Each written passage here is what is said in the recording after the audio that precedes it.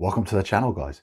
I hope you enjoyed today's video because as a man who likes to wander aimlessly through fields, A field. I am quite drawn to wearing field watches. That's partly true because uh, I do always have an aim when I'm wandering around through fields. It's often just to be at one with nature and that's where this watch comes in because it's quite a clean and simple, very utilitarian looking watch. It's a great watch to wear when you're out and about doing bits and bobs, hiking, wandering about, just being yourself really. Uh, I've gone way off track, but this watch, is it any good for the money?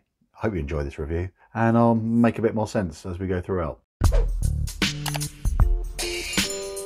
Before we get stuck in me discussing this watch with you and all the bits and bobs I've liked and disliked and things you should be aware of, you're going to need to know the stats and specs, so here they are.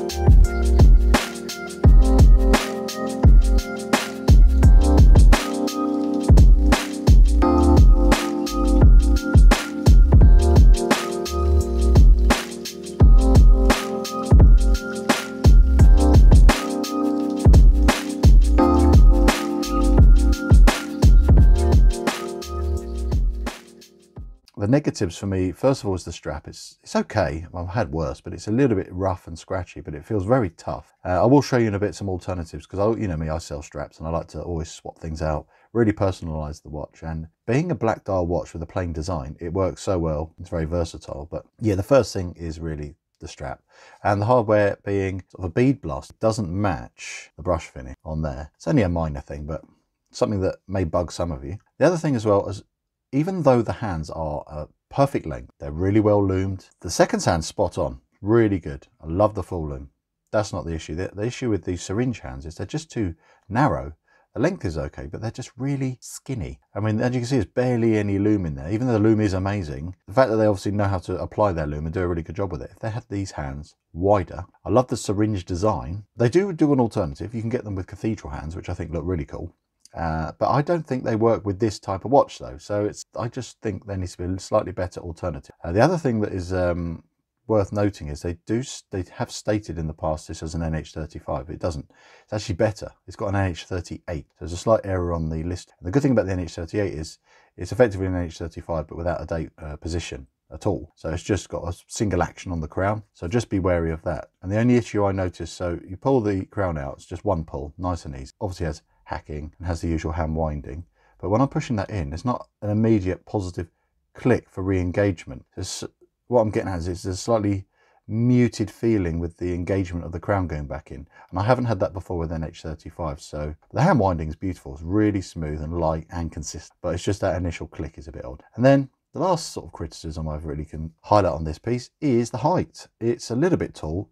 If you're going to compare this in your mind to what this is homaging, which would be the Hamilton khaki Field Mechanical, which is effectively what this looks a lot like, that is a very slim watch. But this is a little bit thicker. It just has that heft to it compared to that. It's a great lug to lug length. Really like that. It's just the height. I think purely because it has that automatic movement in there adds a bit of depth. But you do gain that back is sort of a positive to that is screw down crown and that little bit of heft and the thicker screw case back. This has better water resistance to the Swiss equivalent to this piece. So actually it's got an added bit of versatility and from experience the loom is way better on. So now I've covered the negatives I'm going to now flow into just highlighting just to summarize all the really good positives which I found with this piece. So I just adore the brushing on this watch. That all brush finish. Take this strap off so you can see that case back. Nice and easy to take that off. Uh, yeah, you've got a lovely, gorgeous sunburst effect with the brushing on the back. Really neatly done. I love this extra detail here with this case back. It could have just been plain, but it's got a bit of chamfering going on all the way around there. Again, the brushing's very smooth and consistent on the sides. And the all the little edges and angles on the lugs. Really neat in between the lugs there as well. Very neat circular brushing motion on the bezel. No fluff or dust anywhere. The fit and finish is absolutely spot on. Really neat. No scruffy printing on the dial. The polished hands are beautifully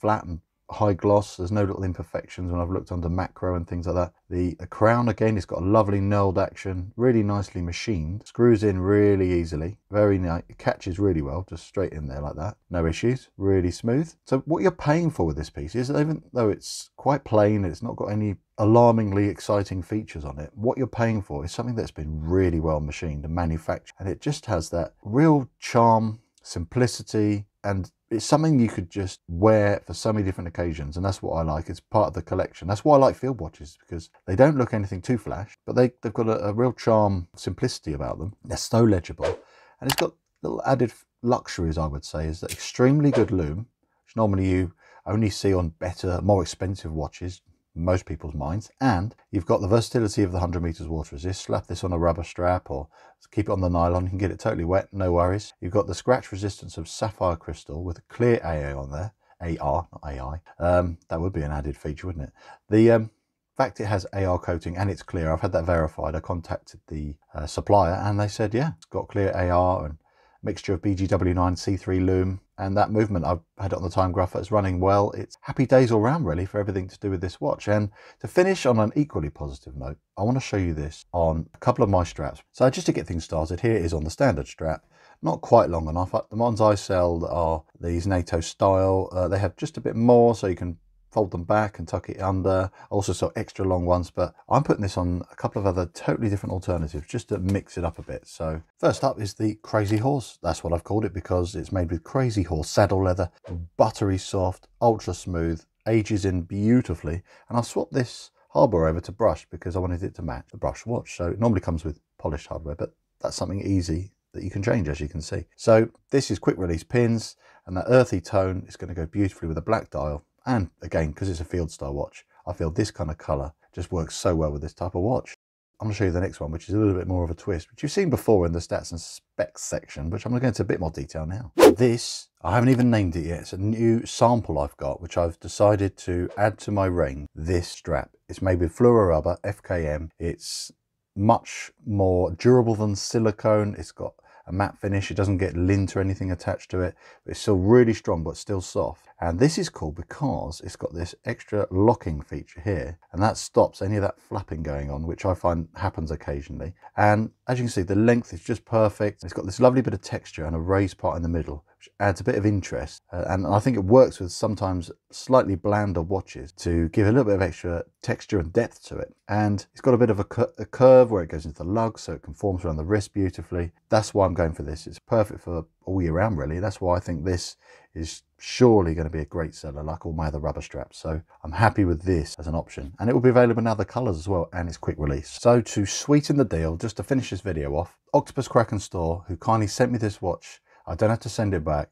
They are offering for the channel to offer to you guys a discount code just to help things along and just to celebrate sort of a new relationship as well. So I really want to say thanks to Octopus Kraken Store for sharing this watch with me, which I have just love so much and I'm hoping you guys feel the same. And if you fancy buying one yourself, link will be in the description. It is, of course, an affiliate link. You know the story now. And I hope you've enjoyed my review and my take on this watch. Thanks for watching, guys. Bye for now.